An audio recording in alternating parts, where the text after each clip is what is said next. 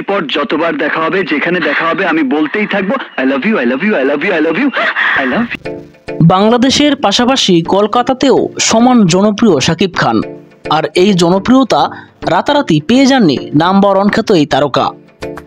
উনিশশো নিরানব্বই সালে অনন্ত ভালোবাসা ছবির মধ্য দিয়ে চলচ্চিত্রে প্রবেশ করেন সাকিব কিন্তু ছবিটি সেভাবে সাড়া না ফেললেও সাকিব ঠিকই পরিচালকদের মনে জায়গা করে নেন। ফলশ্রুতিতে ঠিক পরের বছরই তার ষাটটি ছবি মুক্তি পায়। সেই থেকে এখন পর্যন্ত তিনি একশো আশিটি ছবি উপহার দিয়েছেন। এর মধ্যে তার সর্বোচ্চ পাঁচটি ব্যবসা সফল সিনেমা নিয়ে আজকের এই প্রতিবেদন। কোটি টাকার কাবিন। দুই সালে কোটি টাকার কাবিন ছবিটি মুক্তি পায়। এই ছবির মাধ্যমে মূলত শাকিব খানের পরিচিতি ছড়িয়ে যেতে থাকে। এমনকি স্ত্রী অপবিশ্বাসের সঙ্গে সাকিবের প্রথম ছবি এটি। কোটি টাকার কাবিন ছবিটি পরিচালনা করেন এফ আই মানিক। ছবিটির মাধ্যমে ঢাকায় চলচ্চিত্রের দর্শকেরা সাকিব অপু নামক এক নতুন জুটির সন্ধান পায়। বক্স অফিসে ছবিটি প্রায় পাঁচ কোটি টাকা আয় করে। দুই নম্বর তালিকায় রয়েছে প্রিয়া আমার প্রিয়া। দুই হাজার আট সালের চব্বিশে জুলাই মুক্তি পায় শাকিব খান অভিনীত প্রিয়া আমার প্রিয়া। বদুল আলম খোকনের পরিচালনায় এই ছবিতে সাকিবের বিপরীতে অভিনয় করেন সাহারা। রোমান্টিক, অ্যাকশন ও কমেডি নির্ভর এই ছবির গানগুলো বেশ শ্রোতাপ্রিয় হয়। ছবিটি পাঁচ কোটি টাকা ব্যবসা করে ব্লকবাস্টার ছবির তকমা লাভ করতে সক্ষম হয়।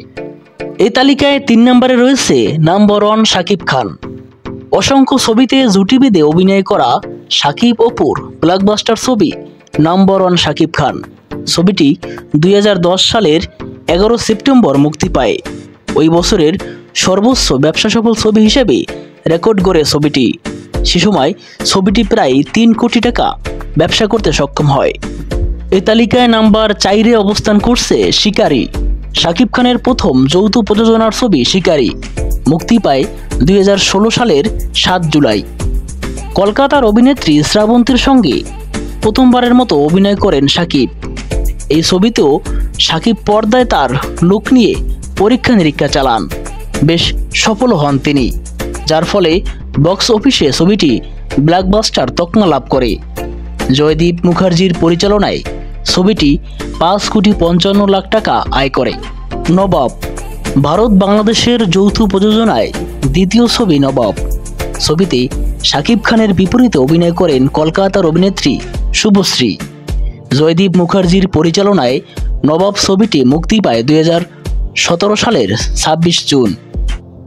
মুক্তির সঙ্গে সঙ্গে ছবিতে শাকিব খানের লুক ব্যাপক আলোচিত হয়। এছাড়া ছবির গানগুলো বেশ শ্রোতাপ্রিয় লাভ করে।